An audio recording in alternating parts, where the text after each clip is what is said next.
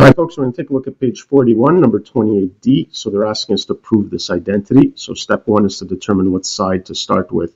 And it doesn't look like the right-hand side offers much uh, opportunity to uh, manipulate uh, other than turning this into 1 minus sine squared and 1 minus sine squared uh, for y. I don't see how that's going to help me get to the left-hand side. Whereas the left-hand side does offer lots of opportunities because we've got our compound angle formulas. So I'm going to start with the left-hand side here. Okay, and not much choice. So I'm just going to apply my um, uh, compound angle formula for cos of a sum. All right, so that's uh, cos of the first times cos of the second. Okay, and remember for cosine, the operation is opposite, so minus sine of the first, sine of the second. Okay, and similarly for uh, the other compound angle formula, it's going to be cos of the first cos of the second, this time plus sine of the first times sine of the second. So not much to do within these two brackets. So it looks like our only uh, option is to distribute these two binomials. All right, but what's nice about it is I notice that this is going to produce a difference of squares because it's the exact same terms, just with a subtraction addition. We know that that produces a difference of squares. So it's just a matter of multiplying the first two terms and the last two terms. So that's going to give me cos squared x cos squared y, and then minus, multiplying these two, sine squared x sine squared y. All right, so now this is where I'm going to take a look at the right-hand side for a bit of inspiration. I notice that there's only cosines on that right-hand side.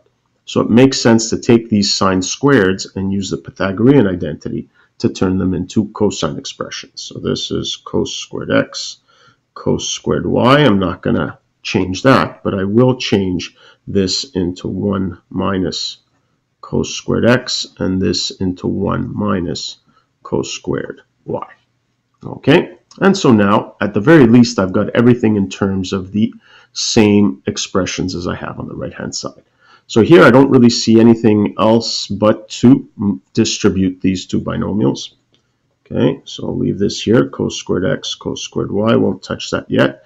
Now here, when I do this multiplication, please do not forget to open up your brackets. Better to do that and in two steps um, determine the simplification than to try to keep track of this negative as you go along. Okay, so let's multiply these two. So we have 1, okay, and then we've got minus cos squared x, and then we've got minus cos squared y, and then lastly, we've got plus cos squared x cos squared y. All right, and now when we take a look at this, keeping in mind that we've got this subtraction in front, we realize that we have cos squared x cos squared y minus cos squared x cos squared y.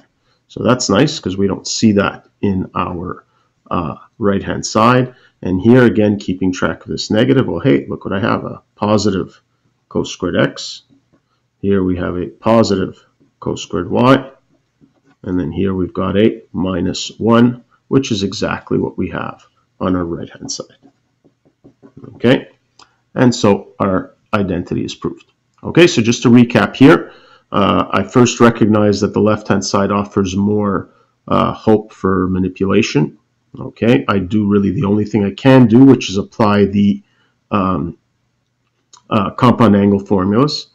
I save myself a lot of time by noticing that this is going to produce a difference of squares.